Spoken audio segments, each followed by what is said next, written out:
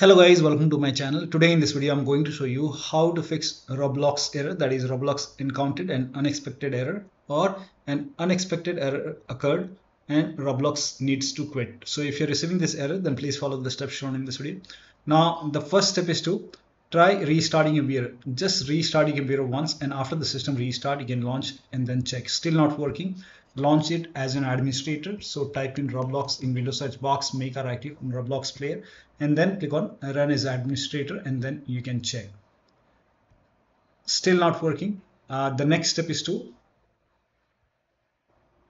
now it's still not working. The next step is to perform disk cleanup. Let me close the game for now.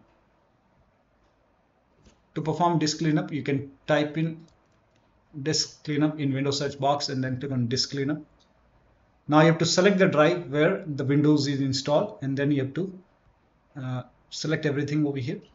Put a check on all the boxes over here and then click on clean up system files.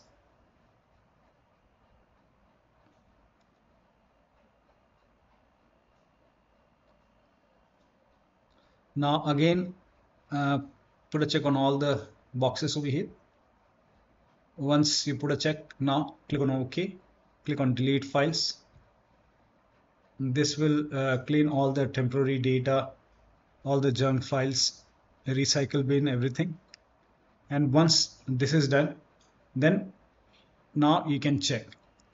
If that does not work then restart your computer once after the disk cleanup and then you can check. Still not working. Turn off memory integrity and restart your computer.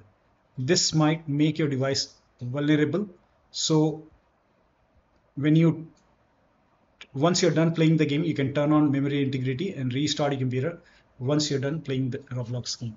Now for this uh, you can type in core isolation uh, in windows search box and then click on core isolation. And over here you can see memory integrity. It prevents attacks from inserting malicious code in, uh, into high security process. So this is risky. So if you want you can do it at your own risk so you can just turn it off. If you agree and then click on yes. And once this is done restart your computer. Restart is a must after this. And after the system restart you can uh, launch roblox. And then once you're done playing the game now you can turn on the memory integrity. Once you're done playing the game you can turn it on. And then again after you turn it on restart your computer.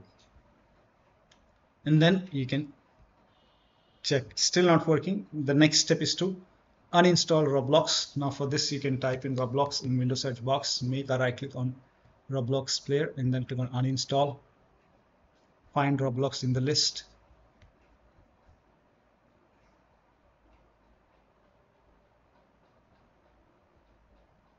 Or you can search uh, there is a yeah once you find it click on it then click on uninstall uninstall. And once the uninstall is done now go to this location. So open C drive now open users C drive users folder your username folder.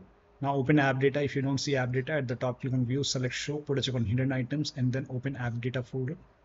And then open the local folder I think. Yeah local and then if you find a Roblox in the list, make a right click on Roblox folder, delete it. Now go to this PC, open C drive, open program files x86. If you find Roblox over here, you can make a right click, delete it. In my case, it's not there. If you find it, delete it. Now, once it is deleted, now uh, restart your computer.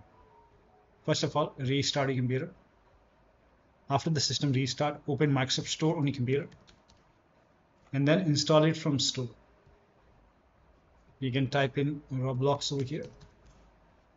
And then you can try to install the roblox game from here. And then you can check. You can even uh, go to website and you can uh, try to download roblox player and check if, if it is working or not. Still not working. Uh, the next step is to try installing roblox uh, under a new local account. Now for this uh, to create a new local account uh, you can go to Windows settings and then go to accounts option scroll down click on other users click on add account.